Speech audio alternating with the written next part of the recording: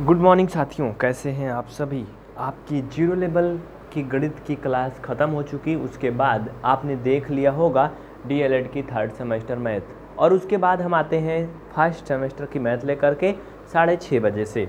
तो चलिए, आज आपका बहुत ही महत्वपूर्ण सेशन होने वाला है।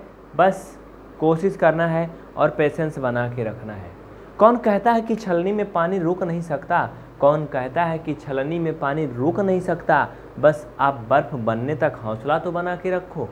जी हाँ बिल्कुल, असंभव को भी संभव बनाया जा सकता है अगर धैर्य बना के रखें और परिश्रम के साथ चलें।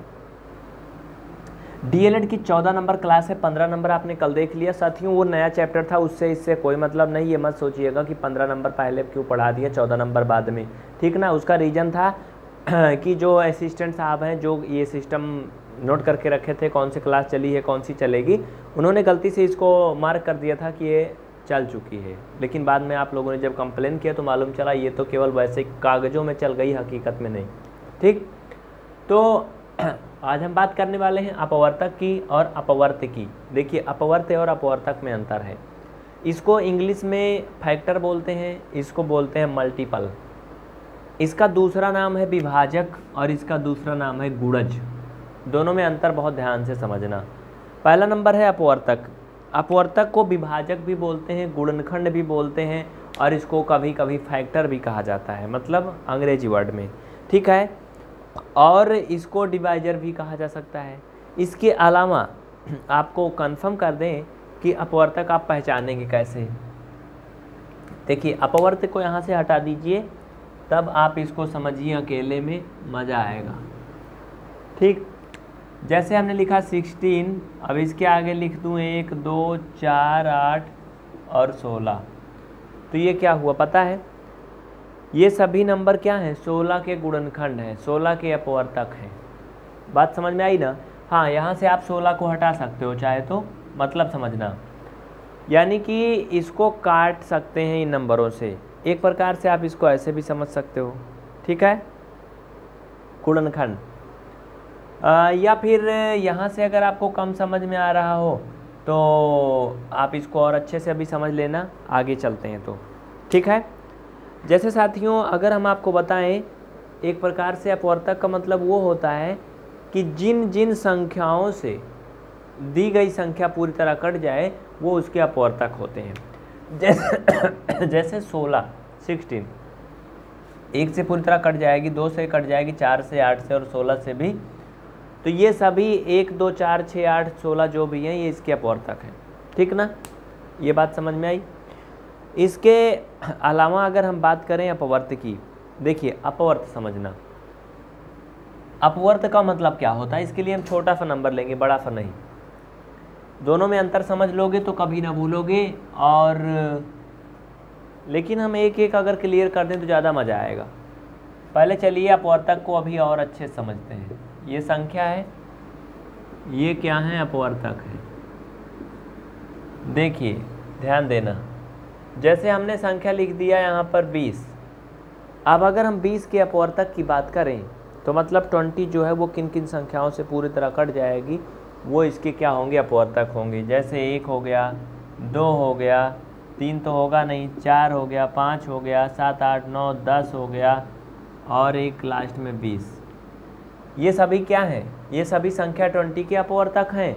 ये सभी क्या हैं? इसके फैक्टर हैं। बात समझ में आई ना? हाँ यहाँ पर हम थोड़ा सा और भी आपको क्लियर कर दें।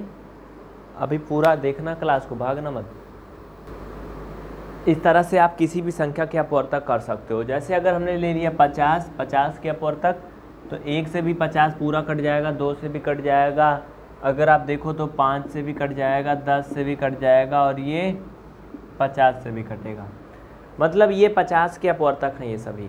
बात समझ में आई ना? और अभी अपवर्तक के बारे में हम आपको और अच्छे से बता देते हैं। कोई भी नंबर आप ले लो, बत्तीस। बत्तीस देखो, एक से कटेगा, पूरी तरह दो से कटेगा, चार से कटेगा, आठ से कटेगा, और सोलह से कटेगा, और बत्तीस से कटेगा। मतलब बत्तीस के ये इतने सारे अपवर्तक हैं। अब अपवर्तक की कुछ प्रॉपर्टी आपको लिखवा देते हैं, इसके गुण पर गुण क्लास को अभी तुरंत लाइक करके P V R study Allahabad को यूट्यूब पर सब्सक्राइब कर लीजिएगा और अन अकेडमी पर फॉलो और फेसबुक पर भी फॉलो और लाइक करिएगा। देखिए, इनके कुछ फीचर हमने लिख दिए हैं। अपवर्तक के कुछ गुण। पहला नंबर तो संख्या जो एक होती है ना, अंक एक एक प्रत्येक संख्या का अपवर्तक होता है। आपने देखा होगा, एक जो है, हर एक संख्या के अपवर्तक में हमने लिखा था। है ना? किसी संख्या का प्रत्येक अपवर्तक उस संख्या का पूर्ण विभाजक होता है। जैसे अगर मैंने कहा कि आठ का अपवर्तक दो है और चार है तो क्या होगा? आठ, दो और चार दोनों से पूरी तरह से विभाजित होगा मतलब कंप्लीटली डिवाइड होगा ज़ीरो से पर आएगा।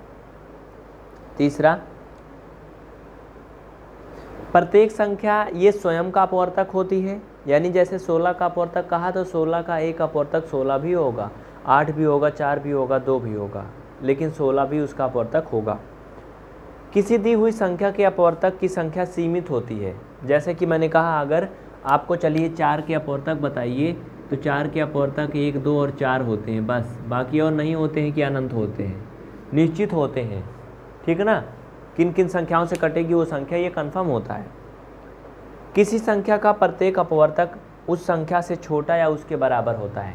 किसी भी संख्या के अगर अपवर्तक की बात करें तो उस संख्या से छोटा होगा या फिर उसके बराबर होगा, बस इससे ज़्यादा नहीं होगा। ठीक ना? जैसे 16 का अपवर्तक 16 तक हो सकता है 16 से बड़ा कभी नहीं हो सकता है। चलिए, अपवर्त की बात करते हैं। साथियों, दूसरा वर्ड होता है अपवर्त। अपवर्त क्या होता है? अपवर्त को दूसरे वर्ड में गुड़ज बोलते हैं। क्या बोलते हैं? गुड़ज इसको इंग्लिश में मल्टीपल कहा जाता है। इसका मतलब समझना ये नीचे हिंदी में लिखा गया है पहले देख लीजिए, फिर आपको समझा देते हैं। यदि कोई संख्या अथवा व्यंजक किसी अन्य दी गई संख्या अथवा व्यंजक से पूर्णतः विभाजित हो जाए तो पहली संख्या अथवा व्यंजक को दूसरी संख्या अथवा व्यंजक का अपवर्त कहते हैं। इसका मतलब समझना आपको नीचे नहीं दिख रहा होगा, लेकिन हम आपको दिखा देते हैं। वीडियो को रोक करके जल्दी से इन बातों को लिख लीजिए या फिर स्क्रीनशॉट ले लीजिए। ठीक है ना? ये बात हम बार बार नहीं बताएँगे। जैसे हमने कहा आठ के अपवर्थ है तो पता है आठ के जो अपवर्त हैं, पहले आठ हो जाएगा, सोलह हो जाएगा, चौबीस हो जाएगा, बत्तीस हो जाएगा मतलब एक प्रकार से ये समझ लो कि कोई संख्या का अगर अपवर्त बोलें मतलब वही गुड़ज जो मैंने कहा ना गुड़ज यानी कि इस संख्या से जो जो संख्याएँ पूरी तरह कट जाएँगी, वो सभी क्या होंगी? इस संख्या के अपवर्थ होंगी। मतलब आठ का अपवर्त आठ भी है, आठ का अपवर्त सोलह है, आठ का अपवर्त चौबीस है, बत्तीस है, ये सब है। मतलब समझ गए ना? तो कुछ संख्याएँ हम आपको दिखा देते हैं, इनकी अपवर्त भी दिखा देते हैं, आप ध्यान से देखना। चलिए, जल्दी से कालम बनाइए। एक तरफ़ लिखिए संख्या और दूसरी तरफ़ लिखिए अपवर्त। ठीक ना? तुरंत। और उसके पहले अगर अभी तक आपने पी वी आर स्टडी को यूट्यूब पर सब्सक्राइब नहीं किया है तो तुरंत जाके कर लीजिए। यूट्यूब पर सब्सक्राइब करिए और फेसबुक पर लाइक और फॉलो करिए। आप अपवर्त ठीक ना? और ट्विटर और इंस्टाग्राम इंस्टाग्राम जानते हो ना जहाँ बहुत कुछ शेयर होता है वहीं पर? वहाँ पर भी फॉलो कर लीजिएगा। जैसे हमने लिखा संख्या चार, इसके अगर अपवर्त की बात करें तो आप लिख सकते हो। कौन कौन सा नंबर हो जाएगा चार का? अपवर्त की बात हो रही ना? मतलब कि ये जो है, किससे किससे या फिर इससे कौन कौन सी संख्याएँ कट जाएँगी? जैसे चार कट जाएगा, आठ हो जाएगा, सोलह, है ना, बारह, बत्तीस, डाट डाट डाट वगैरह वगैरह। मतलब समझ गए होंगे ना आप? अगर हमने कहा सोलह का अपवर्त इससे बड़ा ही होगा। सोलह, बत्तीस, अड़तालीस, चौंसठ आदि। ये क्या है? फोर सिक्सटीन के अपवर्त हैं ये सब। समझ गए ना? उम्मीद करते हैं आप समझ गए होंगे। इसके आगे अगर हम बात करें अपवर्त में तो अब आप समझ गए होंगे। परिभाषा भी देख लिए आप? हाँ। तो थोड़ा सा हम आपको और आगे बता देते हैं इसमें विस्तृत अध्ययन में। आ, पूरा देखना ध्यान से। साथियों ये हो गया अपवर्त। इसके बाद डेफिनीशन भी देख लिए, आप मतलब भी समझ लिए अपवर्त के बारे में थोड़ा सा दो चार लाइन देख लीजिए।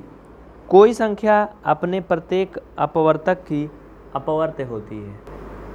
देखिए, साथियों, इन संख्याओं के जो भी बातें हैं, उनको हमने एक साथ दे दिया, इनका सारे इकट्ठा दे दिया।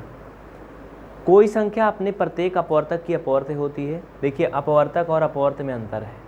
दोनों के बारे में हमने अच्छे से बता दिया। कोई भी संख्या अपने प्रत्येक अपवर्तक की अपवर्त्य होती है। दूसरी बात यह है कि अपवर्तक में क्या होता था? प्रत्येक संख्या स्वयं का अपवर्तक होती थी और अपवर्त में भी वैसा ही है। प्रत्येक संख्या स्वयं का अपवर्त होती है। ठीक? लेकिन दूसरी एक कंडीशन बदल जाती है। अपवर्तक में किसी संख्या का जो अपवर्तक था, उस संख्या से छोटा या उसके बराबर होता था। लेकिन अपवर्त में ऐसा नहीं है। इसमें किसी भी संख्या का जो प्रत्येक अपवर्त है, वो उस संख्या से बड़ा होगा या उसके बराबर होगा लेकिन छोटा नहीं होगा। समझ गए? अपवर्त में जो है वो संख्या इनकी क्या होती? असीमित होती, कोई निश्चित नहीं होती है। लेकिन अपवर्तक की संख्या निश्चित होती थी, और वो कैसे होती थी वो भी मैं आपको दिखा दिया हूँ। हो गया स्क्रीनशॉट ले लीजिए तुरंत। हो गया? या फिर वीडियो को रोक करके लिख लीजिए। अगर आप नहीं लिख पाते हैं, मिटा देते हैं पहले तो आप वीडियो को थोड़ा पीछे करके फिर से समझ लें। ठीक ना? बातों को समझें। देखिए, असीमित कैसे होती है अपवर्त साथियों, जैसे हमने लिखा अपवर्त में, और इधर हमने लिखा अपवर्तक। देखना इधर। हमने एक संख्या लिख दिया चार। अब ये बताइए, चार से कौन कौन सी संख्याएँ कट जाएँगी? भाई, चार से, चार कट जाएगी, आठ भी कट जाएगी, बारह भी कट जाएगी, है ना? सोलह भी कट जाएगी तो ये बारह, सोलह चार पंचे बीस, डाट डाट डाट। आप कहोगे चालीस तक? चार धाम चालीस तक? लेकिन चवालीस भी तो कटेगी, अड़तालीस भी तो कटेगी। इस तरह से आप बढ़ते जाओगे, कहोगे सौ तक? सौ नहीं, एक सौ चार भी तो चार से कटेगा। फिर एक सौ आठ भी कटेगा। ऐसे से जाओगे, क्या होगा? ये अनंत होगा। निश्चित नहीं है कि चार से कौन कौन सी संख्याएँ कटेंगी, बहुत सारी हैं।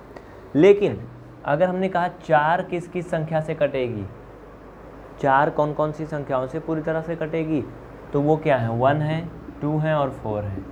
देखिए, इनकी औकात सामने आ गई। अगर फोर को देखें तो फोर केवल इन्हीं तीनों संख्याओं से पूरी तरह कटेगी बस। लेकिन अगर इससे कटने की बात बोलें तो अनंत है। सेम वैसे जैसे आप दूसरों की हज़ारों गलतियाँ निकाल सकते हैं। लाखों गलतियाँ उसके अंदर आप खोज के निकाल के दे सकते हैं। लेकिन अगर कहा जाए कोई गलती को आप उसकी दूर कर दीजिए, कोई कमी उसकी दूर कर दीजिए तो आप केवल कुछ ही कमी दूर कर पाएँगे, सभी कमी नहीं दूर कर पाएँगे। बात समझ गए ना? तो ये था अपवर्तक और अपवर्त। इसके बारे में आप विस्तृत अध्ययन कर चुके हैं। अब इसमें जो कुछ बच रहा है, वो है समापवर्तक की अवधारणा और समापवर्त की अवधारणा। तो साथियों, ये चीज़ें हम आपको ये भी इसी में बता देंगे। टेंशन मत लीजिएगा। दोनों की अवधारणा भी बता देते हैं। चलिए। देखिए साथियों, अभी आपने पढ़ा अपवर्तक और समापवर्तक। तो concept of common divisor concept of common divisor जो होता है, समापवर्तक क्या होता है? ये अपवर्तक से ही बनता है, लेकिन दोनों में अंतर होता है। देखिए, इसमें आपने सुना होगा एच सी एफ़ महत्तम समापवर्तक। सुना है ना? तो जैसे अपवर्तक होता है, वैसे ही समापवर्तक भी होता है। जैसे इधर देखना, दोनों में अंतर समझ लेना। समापवर्तक का कॉन्सेप्ट समझना। समापवर्तक। देखना, समापवर्तक का मतलब समझना। देखिए साथियों, जैसे अपवर्तक आप पढ़ चुके हो, अगर हमने कहा कि संख्या चार के अपवर्तक बताइए तो चार किन किन संख्याओं से पूरी तरह से कटेगी? मालूम है आपको, वन है, टू है और क्या है? फोर है। अगर हमने कहा देखिए, समापवर्तक या समापवर्त में दो या दो से अधिक अंक होने चाहिए अकेले का नहीं होता है। अपवर्तक या समापवर्त, अकेले का होता है। यहाँ पे देखो, समापवर्तक, कहने का मतलब अगर इसका संधि विच्छेद करोगे तो सम अपवर्तक होता है। अब कौन सी संधि है, मुझे तो नहीं मालूम है, लेकिन करके देख लेना, इसका मतलब होता है सम अपवर्तक तो भाई सम अपवर्तक एक का नहीं होगा, अकेले का, दो का होगा। जैसे हमने लिखा दो और चार। अब दो और चार की अगर सम अपवर्तक की बात करें मतलब वो संख्या जिससे ये दोनों कट जाएँ तो वो क्या होगा? एक होगा और एक दो होगा, बस। यानी कि इनके समापवर्तक एक और दो होंगे, बस, बाकी नहीं होंगे। चार भी हो सकता है, कुछ लोग कह रहे होंगे, लेकिन चार से दो तो नहीं कटेगा ना? केवल चार ही कटेगा, इसलिए नहीं होगा। समझ गए ना? तो ये अपवर्तक है, वो समापवर्तक है। ये अंतर होता है। कॉन्सेप्ट समझ गए होंगे आप। ना? अभी कुछ कम समझ में आया होगा तो आगे भी देख लो। लगे हाथ काहे लिए छूटने पाए कुछ? देखिए, जैसे अगर कोई भी हम अंक की बात करें, अपवर्तक और समापवर्तक में, जैसे हमने लिखा सोलह, अब सोलह कौन कौन सी संख्या से पूरी तरह कटेगी? एक से कटेगी, दो से कटेगी, चार से कटेगी, आठ से कटेगी और सोलह से कटेगी। लेकिन अगर समापवर्तक की बात करें, इसमें हमने लिख दिया सोलह और बत्तीस। आप बताइए वो कौन कौन सी संख्याएँ हैं जिससे सोलह भी कट जाए और बत्तीस भी कट जाए, इसमें केवल और केवल एक को देखना है। देखिए, अगर आप कहीं अकेले होते हैं, जाते हैं तो बहुत आराम से घूम टहल सकते हैं, बहुत खुशी खुशी रहते हैं। अगर आप झमेला लेके गए, चिल्लू बिल्लू या फिर और किसी को लेकर के गए तो फिर थोड़ा सा लफड़ा हो जाता है। बात समझ रहे हो ना मतलब? तो उसी तरह से क्या होता है? ये अकेली जान है, इसलिए बहुत सकून में है। ये डबल हो जाते हैं तो टेंशन शुरू हो जाती है। अब देखना कैसे? ये सारे अंक जो हैं इसके अपवर्तक हैं। लेकिन समापवर्तक में क्या होगा? ऐसा नहीं हो सकता है। जैसे अगर हमने ले लिया बत्तीस तो बत्तीस से बत्तीस तो कट रहा, लेकिन सोलह नहीं कट रहा। इसलिए क्या करेंगे? उसका भी ख्याल रखना होता है। तो सेम एक प्रकार से इसको ऐसे समझ लो। जैसे आप तीन मित्र कहीं गए हो और रास्ते में आपको ऑटो पे बैठना है मतलब कहीं ऑटो चेंज करना है या बस चेंज करना है। और संयोग बस उस ऑटो में केवल एक ही सीट है। एक ही सीट बची, बाकी भरी है। और आप तीन लोग हो। तो बताइए, आप बैठ जाओगे, जा पाओगे? नहीं ना। नहीं बैठोगे, कहोगे जाने दो भाई, दूसरे में बैठेंगे। लेकिन अगर आप अकेले होते तो आप उसी में बैठ जाते, आपका टाइम भी बचता, फटाफट पहुँच जाते टाइम से। है ना? तो ये क्या है? अकेले हैं, वो कई हैं। उसमें सब देखना है, सबको देखना है, सबको साथ ले चलना है। ठीक ना? तो इनमें अगर हम देखें तो एक हो जाएगा क्योंकि एक सभी के लिए कंफर्टेबल है। दो भी हो जाएगा, चार भी हो जाएगा आठ भी हो जाएगा। ये समापवर्तक है इन सभी के। सोलह की अगर बात करें तो सोलह भी हो जाएगा, लेकिन बत्तीस नहीं होगा। क्यों नहीं होगा? क्योंकि बत्तीस बत्तीस का तो हो जाएगा, लेकिन सोलह का नहीं होगा साथ ही, इसलिए बत्तीस नहीं होगा। हाँ अगर इसी में आपको एचसीएफ निकालना हो तो हाईएस्ट कॉमन फैक्टर इसके लास्ट वाला अंक उत्तर हो जाएगा। क्योंकि ये सब हमने क्या लिखा है? फैक्टर ही लिखा है। लेकिन हाईएस्ट कॉमन फैक्टर बड़े से बड़ा फैक्टर सोलह है। अगर इसका मासा बोलें एच बोलें तो सोलह हो जाएगा। बात समझ गए ना? ये इसका क्या था? कॉन्सेप्ट था अपवर्तक और समापवर्तक की। अब हम इसमें आपको दिखा देते हैं अपवर्त और समापवर्त। उसको भी देख लीजिए, इसी में लगे हाथ काहे लिए इंतज़ार करना पड़े, है ना? तो देखिएगा। साथियों, समापवर्तक से थोड़ा सा हटके है, अपवर्त। अपवर्त की अवधारणा। नहीं नहीं नहीं नहीं। अपवर्त नहीं। समापवर्त की अवधारणा। समापवर्त का मतलब समधन अपवर्त जैसे अपवर्त आपने पढ़ा है है ना? गुड़ज बोलते हैं। वैसे अगर हम समापवर्त की बात करें तो ये हो जाएगा समधन अपवर्त। है ना? समझना। साथियों, जैसे अगर हमने नंबर ले लिया यहाँ पर सात सात के अगर अपवर्त की बात करें तो अनंत होंगे। क्यों? क्योंकि अनंत संख्याएँ सात से कट जाएँगी। ये देखो। Dot dot dot dot dot dot, सत्तर, फिर सतहत्तर, फिर डाट डाट डाट डाट। आप देखोगे बारह सौ चौरासी भी तो करता है। मतलब बहुत सारी संख्याएँ हैं, अनंत हैं इसके अपवर्त लेकिन अगर ये डबल हो गए तो डबल हो गए तो ऐसा नहीं होगा। कैसे? देखो, जैसे हमने लिख दिया सात, और यहाँ पर क्या लिख दिया? मान लो चौदह लिख दिया। अब ये बताइए, कोई ऐसा अंक जो इन दोनों से कट जाए, दोनों से कट जाए तो वो क्या होगा? पहला नंबर तो फोर्टीन होगा। सात नहीं होगा, छोड़ दो अब। चूँकि सात सात से कट जाएगा, चौदह से नहीं कटेगा, दोनों को देखना है। जैसे मैंने कहा, अगर आप कहीं जाते हो तीन लोग साथ में, ऑटो या में, टैक्सी में या बस में एक ही जगह है तो आप नहीं बैठोगे। लेकिन अगर आप अकेले होते तो बैठ जाते। तो मतलब सबका ख्याल रखना है। ये कट जाएगा, ठीक है? अगर देखें अट्ठाईस, ये भी कट जाएगा इन दोनों से। कट जाएगा ना? हम्म?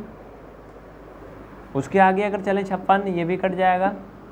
उसके आगे चलें तीन अठे चौबीस, तीन दूना छः, दो आठ, चौरासी, ये भी कट जाएगा।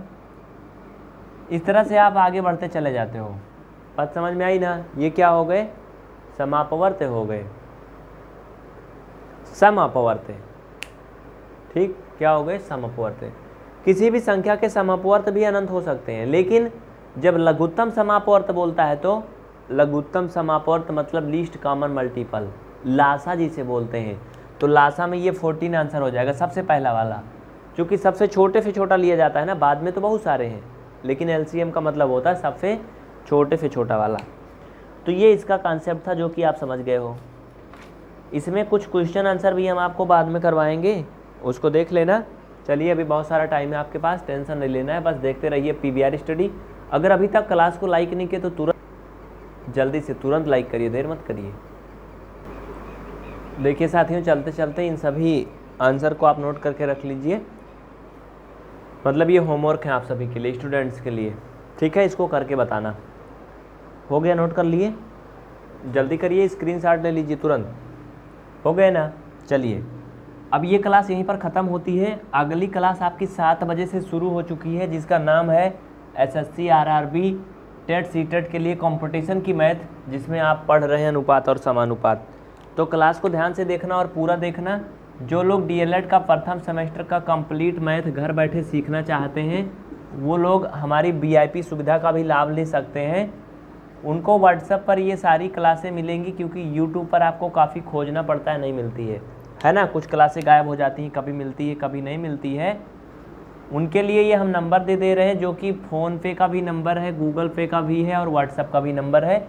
इस पर वो मैसेज कर सकते हैं। और किसी भी सेमेस्टर की कंप्लीट मैथ मात्र पाँच सौ उनचास रुपये में घर बैठे पढ़ सकते हैं। अगर इसको नहीं करना एक भी रुपया मत करिए।